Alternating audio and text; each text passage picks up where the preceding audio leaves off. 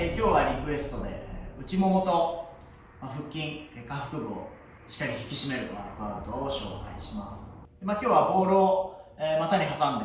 ま、行っていくんですけどこれはどのようなボールでも構いません、まあ、家でやる場合なんかは、え、クッションとか、まあ、お股に挟めそうなものなら、え、何でも大丈夫です、ま、見た目簡単そうに見えてちょっと、ま、難しい動作になると思いますけどぜひ見ながら一緒にやってみてください、まあ、やり方は単純で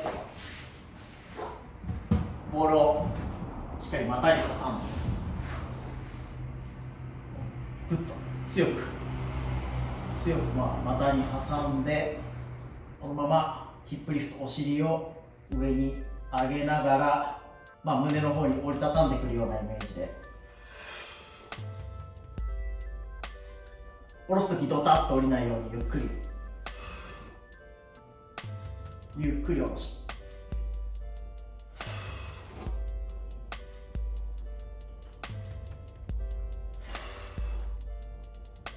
股の力は緩めず。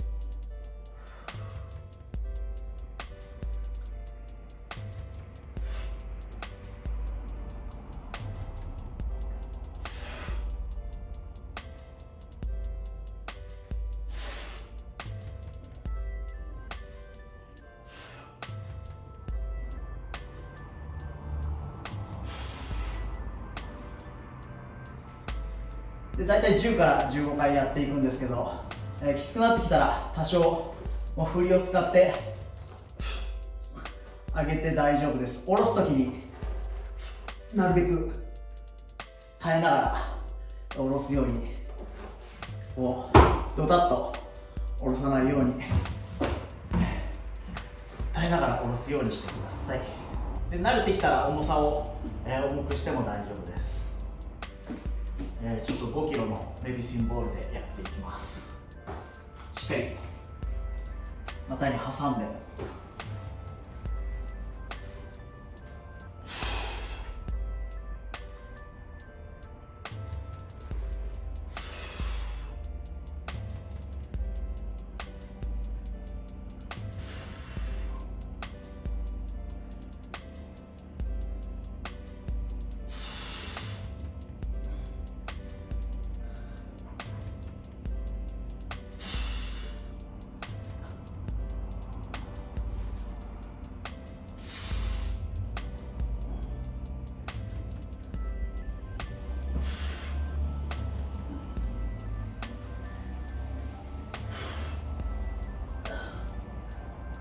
肩の力を緩めないように。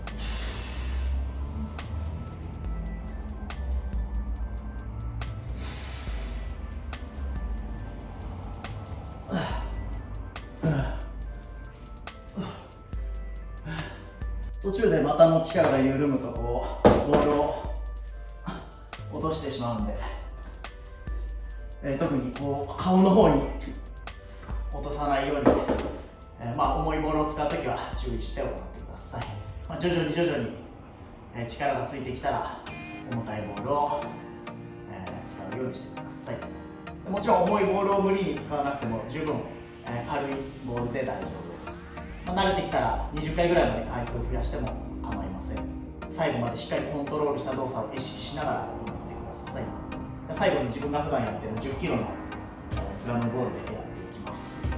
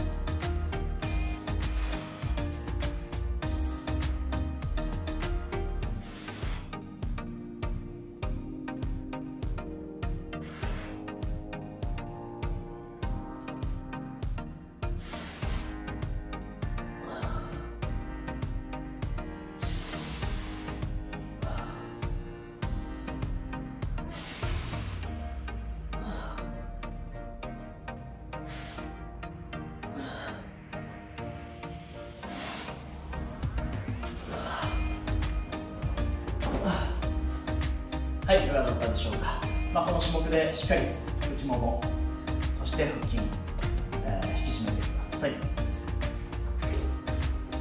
ご視聴ありがとうございます。